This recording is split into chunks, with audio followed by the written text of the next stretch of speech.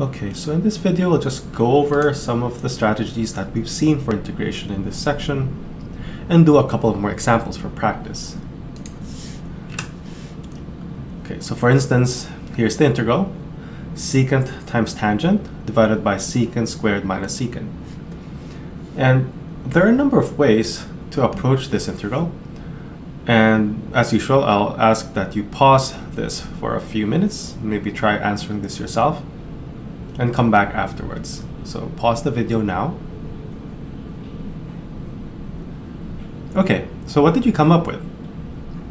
Did you try a substitution? Or maybe you tried simplifying your integral first? Well, some of you probably tried making the substitution u equals secant theta, and that's because the derivative of secant is secant times tangent. And you see that, well, you already have secant times tangent in the numerator here. So it is an easy substitution to make, and we get 1 over u squared minus u du as a result. From this point on, you can use partial fraction decomposition, and you don't even have to go through like that whole process of setting a and b to be coefficients you can just guess uh, actually what it is here. Um, it's going to involve a 1 and a 1 and the sign you yep so that's the correct sign right and you can check that this is the correct um, decomposition here by combining the two fractions and showing that you get this expression back okay so now that we have expressed this rational function as a difference of the reciprocals of linear terms. Now you can just take the ln for the antiderivative and finally plug in your secant back. And you're done, right? That's the antiderivative, that's the integral. Now, let's try another technique. I mentioned that some of you may have tried simplifying this first. So what do you get when you try simplifying? Okay, so all the terms have a secant, right? So you can actually factor out the secant from the denominator, and you're just going to be left with secant theta minus 1. And what is that equal to?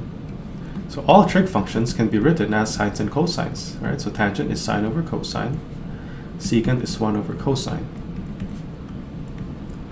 So, well, we can multiply the top and the bottom by cosine.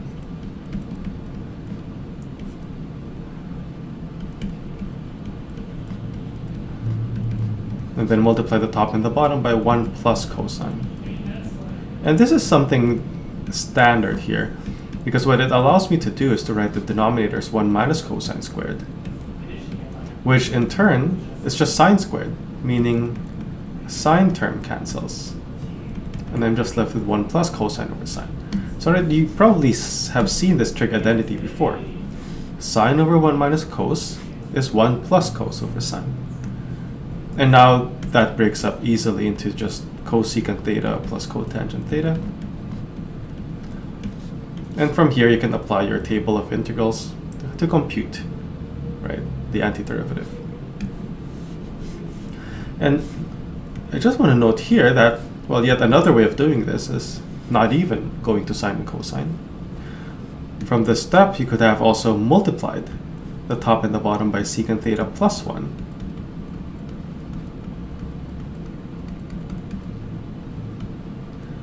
To get this. And secant squared minus 1 is tangent. So a copy of tangent is going to be cancelled, leaving you with one factor of tangent in the denominator. And this, broken up, gives you the same thing. All right, so just for one question, we see on this slide three different ways of solving it. And you will get different forms for what the final answer looks like. And you'll see this a lot with integrals that um, involve trigonometry. In general, uh, there are a number of tips that you can think of when you're um, uh, encountering some of these integrals. Simplifying is always a good one to try first. Sometimes simple manipulation gets your integral into a form where you can immediately see what the appropriate method is. Otherwise, there are a number of methods that we've already seen, like integration by parts. Um, remember, that's u v minus v du, is when you can recognize your integral as u dv.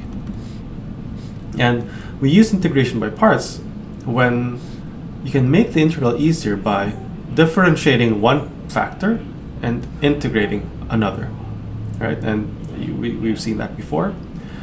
Trigonometric functions here, as well, it pertains to that section where we had powers of cosine and powers of sine, right? And depending on whether it's an even or an odd power, you use a substitution or some trig identities to simplify. You use inverse trig substitutions if you have, well, terms of the form x squared minus a squared, a squared minus x squared, or a squared plus x squared. Partial fractions if it's a rational function that you can decompose. And I don't think we talked about this, but the ra a rationalizing substitution is used where you can set u to be equal to the square root of something. Right? And you can actually square both sides in this substitution rule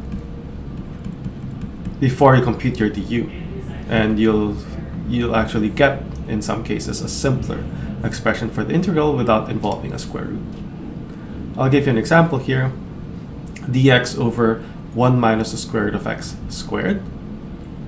Right, so right now it's not entirely obvious what substitution or what method we have to use here.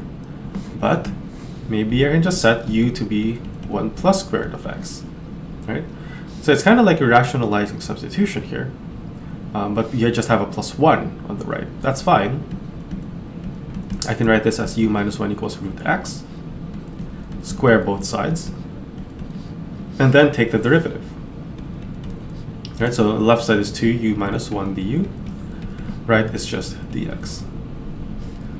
Right, and so what this allows me to do is, well, I don't have to worry about, you know, getting my integral into a form where I have my dx properly there, because I just need the dx alone and that dx becomes 2u minus 1 du.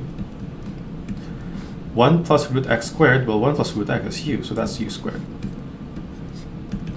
And now I can break it up into an easy integral.